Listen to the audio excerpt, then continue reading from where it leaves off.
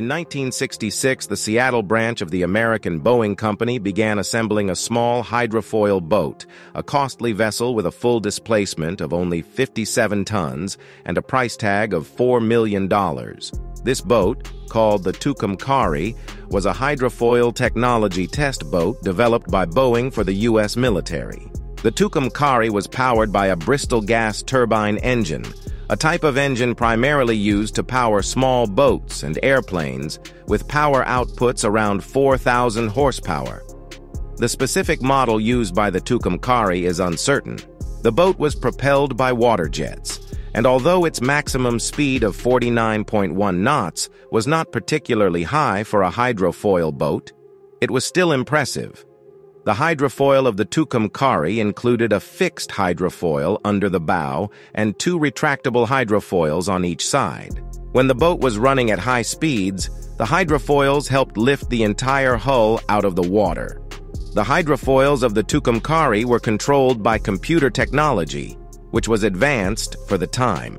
The armament on the boat was simple, with a 40mm Bofors gun mounted on the bow deck, along with two 12.7mm machine guns and an 81mm mortar.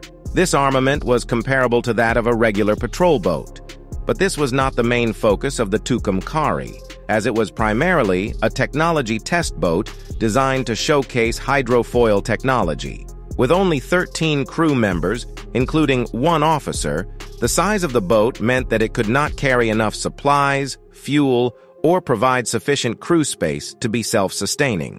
However, with computer-controlled hydrofoils, the boat had a strong capability to handle harsh sea conditions. The Tucumcari was launched in 1967 and delivered to the U.S. Navy for testing in March of the following year. As a technology test boat, it participated in various exercises of the Pacific Fleet, and was deployed to Vietnam after a year at the Colorado Naval Base. It joined the Coastal Patrol Team to carry out all-weather combat missions, attacking North Vietnam's supply lines and experimenting with helicopter vertical resupply tactics. Overall, it was very successful during the Vietnam War. Upon returning to the U.S., the boat was transferred to the Atlantic Fleet and carried out activities in the Mediterranean and other regions, demonstrating the high performance of hydrofoil boats to the NATO allies. It also conducted joint exercises with countries such as Denmark.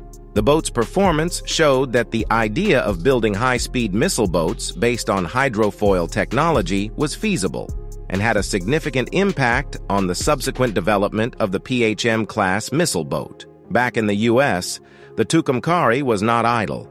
But unfortunately, in a November 1972 exercise, it ran aground on a reef at a speed of over 40 knots, causing significant damage to the hull and injuring several crew members. Salvaging the boat further worsened the damage, and it was eventually deemed economically unfeasible to repair, leading to its official decommissioning in 1973. The Tucumcari hydrofoil boat had a full displacement of 57 tons, a length of 21.95 meters, a width of 10.77 meters, with hydrofoils raised, a draft of 1.37 meters, and a crew of 13 people, with a maximum speed of 49.1 knots.